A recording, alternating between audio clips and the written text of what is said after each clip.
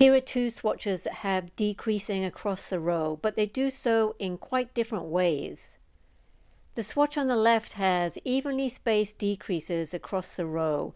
You can decrease as many stitches as you need to achieve the shape, and this method is useful when you have horizontal bands of pattern or texture with some plain rows in between. See how the decreased rows are on the solid rows on this yoke sweater. The swatch on the right has fewer decreases in the row and more decreased rows, but the decreases are in defined locations, so they always appear on the same stitch. This would be good when pattern or texture is continuous, like in these two hats, or when you want to have that clean line of decreased stitches. Both of these methods can be used to shape the crown of a hat or the yoke of a sweater. I wanted both these swatches to be the same size, so you may be interested in the math involved. I wanted to start with about 100 needles and end with about 44 needles and reach that point in about 50 rows. It's good to be a little vague with the needles and rows and let the math decide to some extent. For this swatch, I figured I could get to 44 needles in about four decrease rows spaced over the 50-ish rows of knitting. I say decrease rows, but the decreases happen after you knit one row and before you knit another. For the first decrease, I figured to decrease every seventh stitch. In 100 needles, that would be 14 decreases. So 100 minus 14 equals 86 needles. The next decrease was every sixth needle, which resulted in another 14 stitches decreased. Now I have 72 needles in work. The next decrease was every fifth needle, leaving 58 needles. Then every fourth needle, giving me 44 needles left in work. Perfect. I will figure out the spacing in a minute.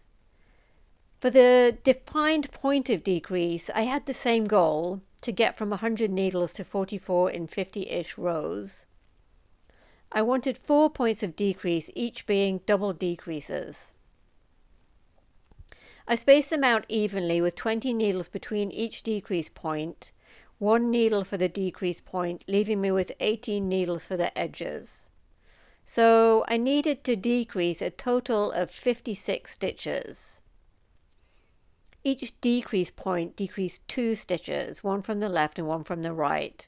So there were eight decreases every time I had a decrease row. I divided 56, the number of stitches I needed to lose, by 8, which told me that there needed to be 7 decrease rows.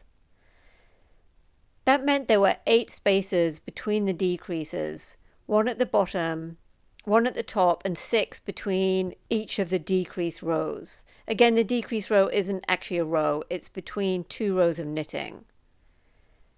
So because I wanted 50-ish rows of knitting in total, I divided 50 by 8, which gave me 6 with a few left over. 6 times 8 is 48, and that's near enough. So 6 rows between each decrease. Back to my other swatch, I just played around with the spacing until it totaled 48 rows. I could have got there various ways, but I was happy with how it turned out. That was one of our videos from our newly released class, Shaping and Transferring Stitches.